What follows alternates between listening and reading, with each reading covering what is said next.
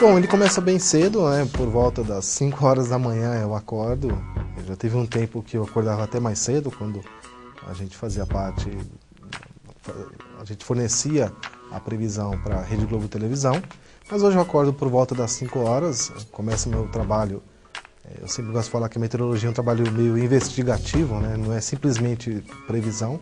Então eu começo meu trabalho investigativo por volta das 6 horas e aí, seis e meia, eu começo a divulgar aquilo que, que, aquilo que eu julguei que era o mais correto para o futuro. Então, quer dizer, eu começo investigando aquilo que eu imaginava que aconteceria no dia anterior, vejo aquilo que deu certo, graças a Deus a maior parte das coisas dão certo, né, e corrijo aquilo que, que eu acho que não está perfeito, né, e começo a divulgar meu trabalho por volta das seis e meia da manhã, em todos os veículos que a gente, que a gente trabalha.